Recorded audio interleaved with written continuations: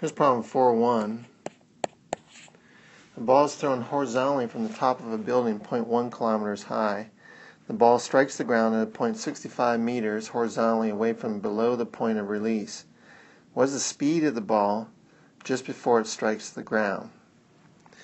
Well, if we're looking at this kind of situation where we're throwing a ball straight horizontally, its time in the air is going to be governed by the time it takes to fall to the ground. And that distance, we're told, is 0.1 kilometers, so that's 100 meters. So that's going to govern its time, at least in the y direction. There is no initial velocity in the y direction. And hence, we have an acceleration of a positive 9.8 meters per second squared.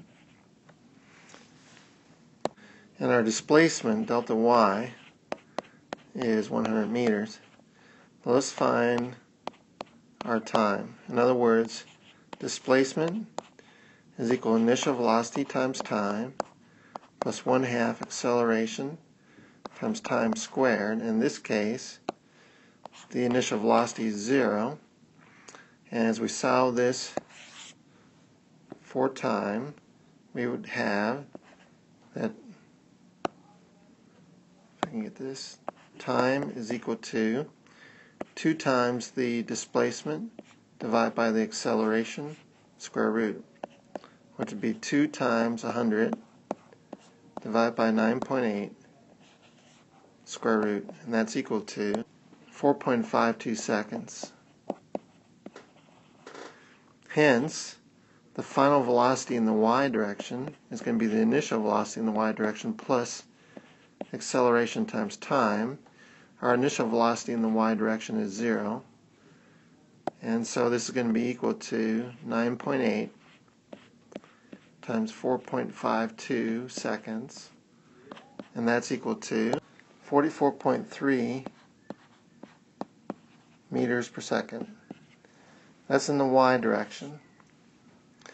Now, if we consider the x direction, we're, uh, we're going to actually move a displacement of 65 meters and the time is going to be the same. So that's the key for all these problems is that these two separate motions are done simultaneously. And so our time is going to be 4.52 seconds.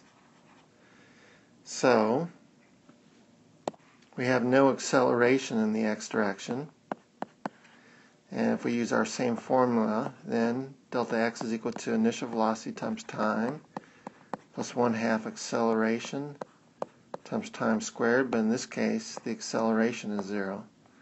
And hence our initial velocity is going to equal our displacement divided by our time, 65 divided by 4.52 is equal to 14.4 meters per second.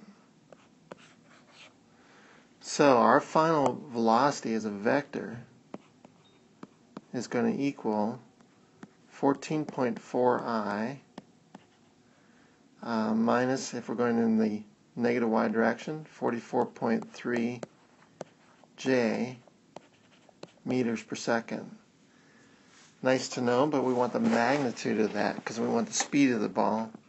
So the magnitude of our final vector is going to be 14.4 squared plus a negative 44.3 squared, all that square root. If I can get this.